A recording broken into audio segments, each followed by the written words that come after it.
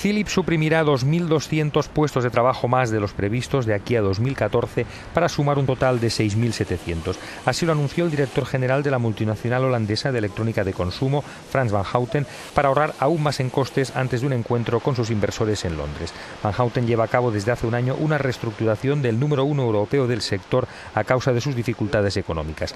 Hasta ahora tenía como objetivo reducir los costes en 800 millones de euros y con el nuevo anuncio estos deberán ser de 1.100 millones. Director general confía además en incrementar sus ventas el año que viene tras dos trimestres seguidos con mayores beneficios de lo esperado, aunque no descarta nuevos recortes.